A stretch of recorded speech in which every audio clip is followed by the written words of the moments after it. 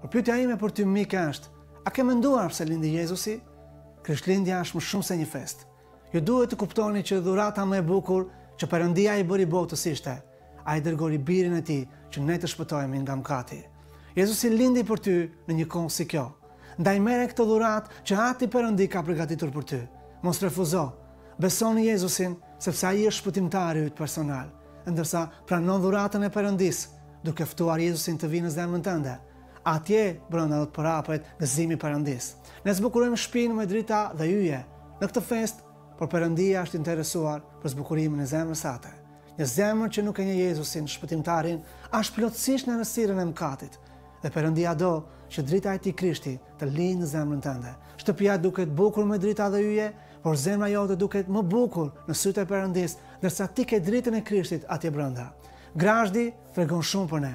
Jezusi, mbreti i qellit, le lavdinë e parajsës dhe lind për ty në një vend të papërshtatshëm dhe në kushte të vështira. Pse e bëri këtë?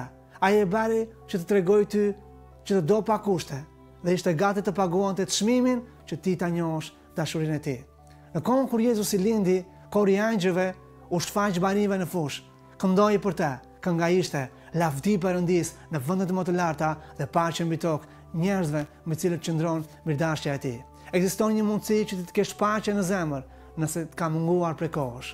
Ti mund ta marrësh këtë paqe ndërsa beson Jezusin. Por nuk dua të ndalem këtu. Ky Jezus që lindi, vdiq, u varos dhe u ringjall ditën e tretë për mëkatet tona dhe sot është i ulur në të djathtën e Perëndisë, do të kthehet një ditë për të gjykuar botën. Ai nuk do të kthehet si fëmijë, por si mbret. A ke menduar se një ditë do të qëndrosh para tij? Por nëse ai të pyet të thotë, përse duhet të të lejoj të hysh në parajsë, çfarë do t'i thuash? Ai nuk do të pyesë sa bukur e festove Krishtlindjen, por do të thotë, a besove tek mua? Miq të dashur, Krishtlindja është një festë, Por marrëdhënia me Jezusin është vakti ushqimor që ne ushqejmë shpirtin tonë çdo ditë.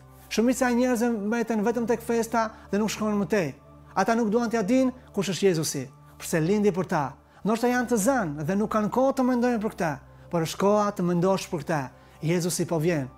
Nëse nuk mendon tani, atë ditë do të jetë shumë vonë të mendosh. Jezusi po pret për ty, që ti ta hapësh zemrën tënde për të. Ai është Zoti dhe Shpëtimtari i vërtetë.